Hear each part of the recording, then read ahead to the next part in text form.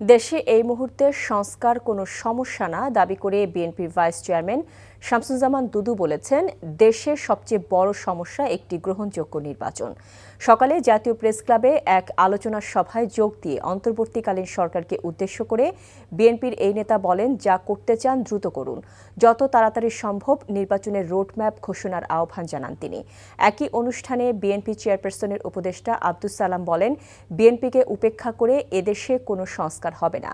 হাসিনা গণতন্ত্রকে পাশ কাটিয়ে উন্নয়নের ঘণ্টা বাজিয়েছে দাবি করে তিনি বলেন তার শেষ পরিণতিটা কি হয়েছে সেটা ভুলে যাবেন না।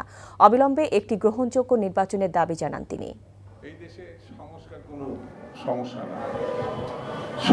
যেটা সমস্যা, সেটা হচ্ছে একটি গ্রহণযোগ্য নির্বাচনের দিন তারিখ ঘোষণা।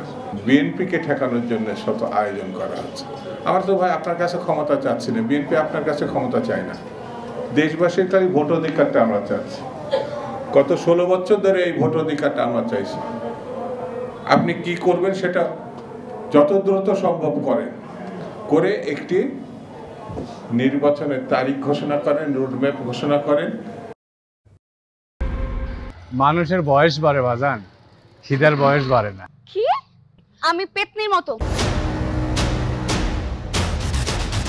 আচ্ছা তুমি আমার সামনে নিজেকে যেভাবে উপস্থাপন করো বাবা মার সামনে তো সেভাবে করো না।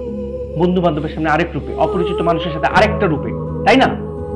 একমাত্র মানসিক বিকারগ্রস্ত মানুষজন এক রূপেই থাকে তারা সব ক্ষেত্রে নিজেদের একটা রূপে প্রদর্শন প্লিজ তোমার ভাষণ বন্ধ করো।